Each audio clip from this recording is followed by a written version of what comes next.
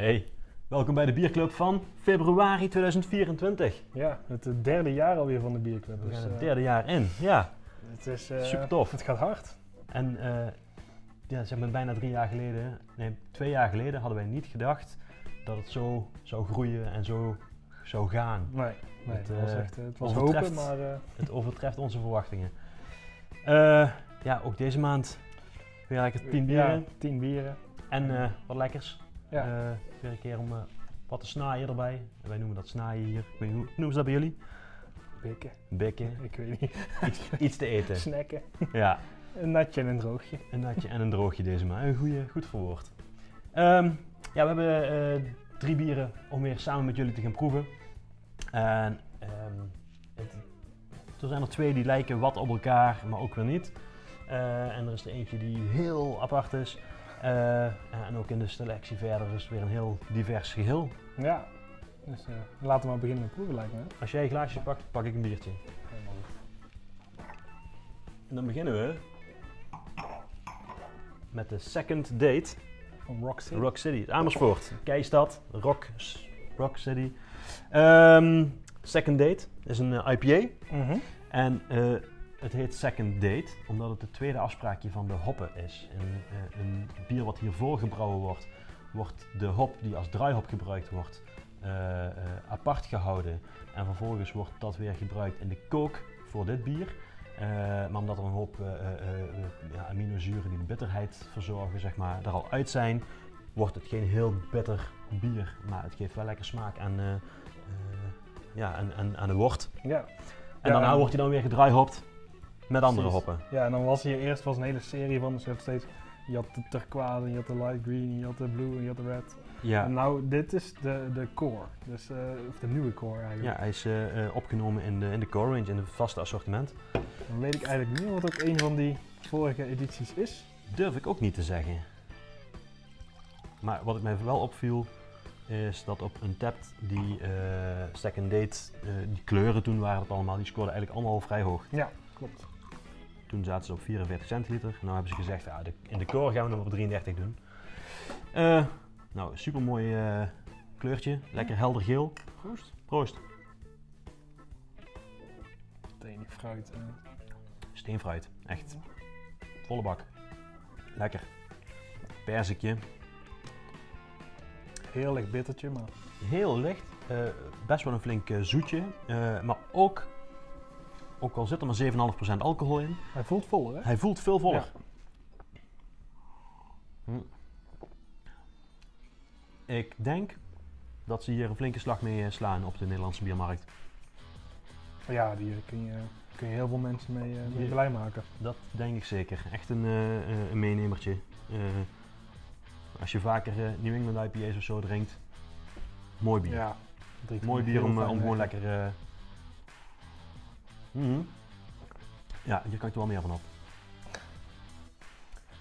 Maar, We hebben nou nog andere bieren. dus we gaan wel even door. En op het moment van opname nog een weekend carnaval voor de, voor de boeg. Dus wat minder lekker bier.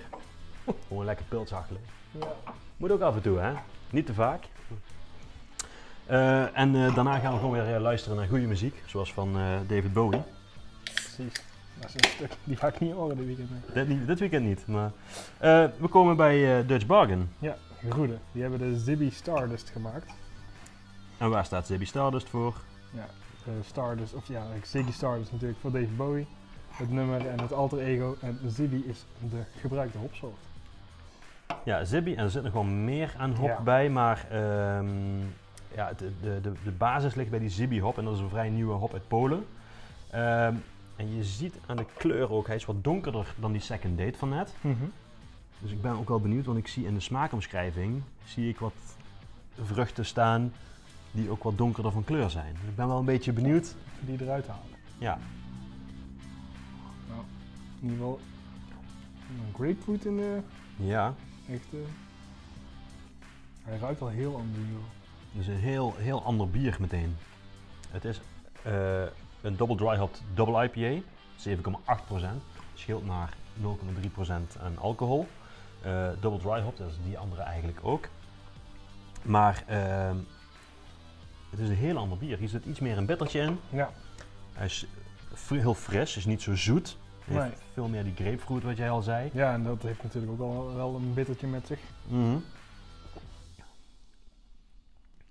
Maar hij ruikt als een raketje. als het ijsje. Ik snap wel wat je bedoelt, maar ik denk dat daar dus die andere vruchten in eh, Mhm. naar voren komen. Want eh, hier wordt bijvoorbeeld genoemd eh pruimen, ehm perzik, mango. En dan denk ik wat, de meer wat, wat rijpere mango. Mhm.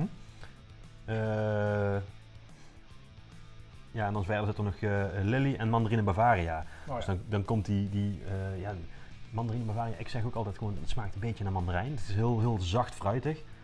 Eh, gaaf. ja. Maar dus alleen maar Europese hopsoorten van het Hollands Hophuis. ja. Heel gaaf. Was het Pools en Duits, toch? Ja, Pol- is ook Duits, geloof ik. eh. eh, ja Lily is Duits en Ja. mandarine Bavaria is ook Duits. En dan die Zibi is Poolse. Ja. Ja, gaaf. Ja, leuk om toch weer zo toch weer nieuwe hopsoorten in je bier te krijgen. En Bijna hetzelfde soort bier, maar compleet andere smaak. Compleet anders. Ja.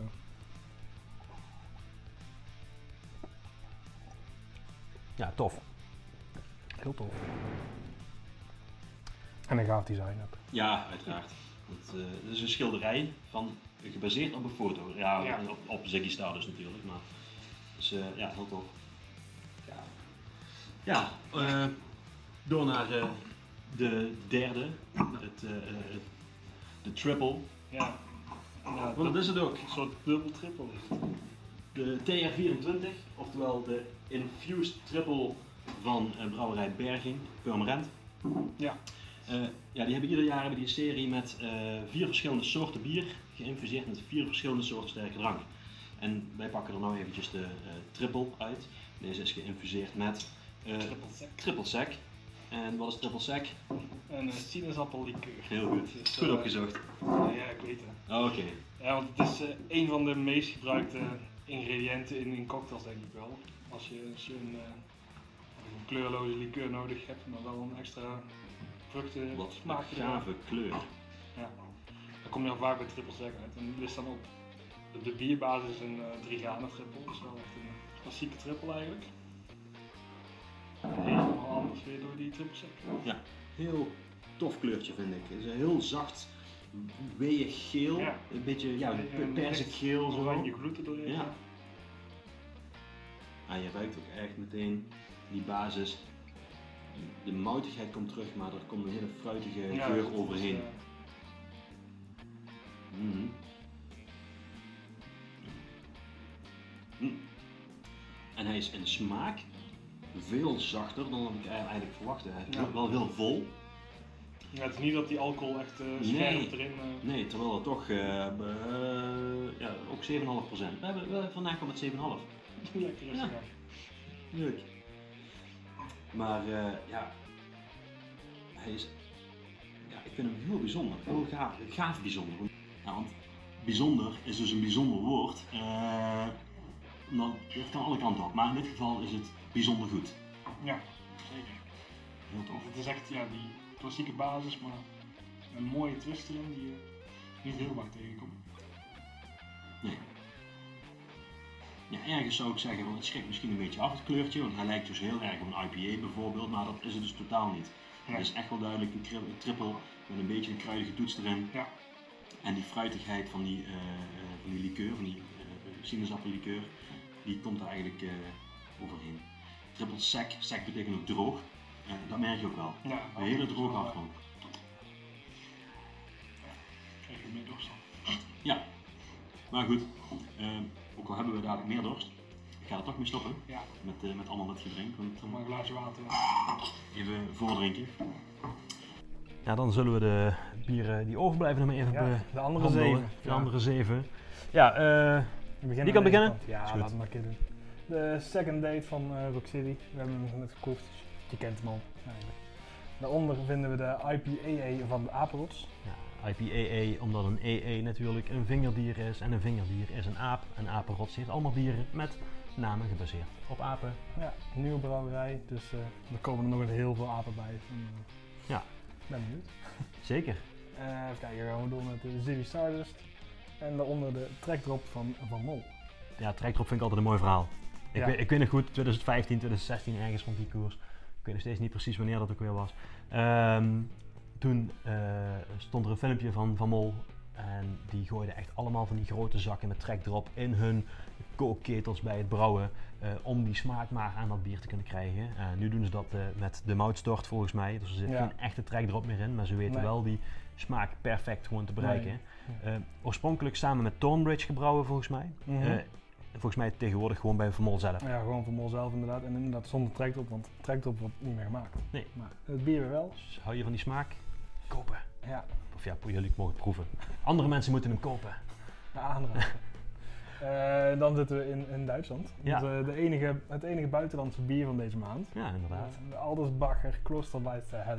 Ja, eh, voor mij ook wel een mooie bijzondere. Ik was mooi op vakantie in Zuidoost-Duitsland. Eh, of ja, daar kwam ik doorheen. En eh, daar heb ik een avondje dit gedronken. En als ik iets lekker vind, dan probeer ik dat in mijn assortiment te krijgen. Ja, En zo geschieden.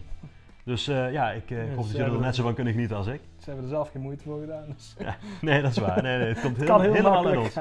Uit ons eigen initiatief. Ja, Ehm, ja, die slaan we even over. slaan we even over. Ja. Die bewaren we even voor later.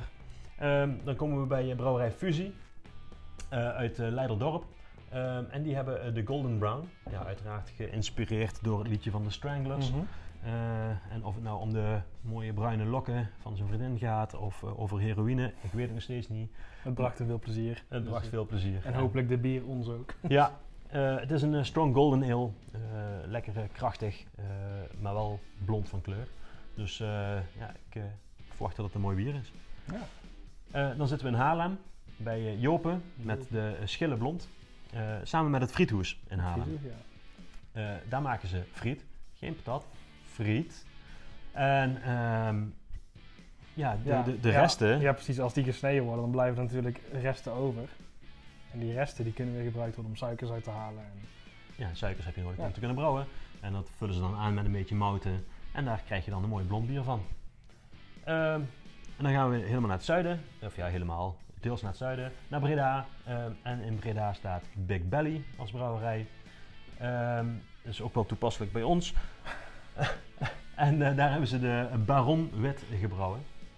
Ehm, ja, ik ben ook wel heel benieuwd. ja, het schijnt heel kruidig Het te schijnt zijn. een beetje kruidige blonde, of, eh, kruidig wit bier te zijn. Eh, ik hou daar wel van. Ik heb hem net pas binnengekregen, dus ik heb hem nog niet kunnen proeven. Maar ja, heel benieuwd.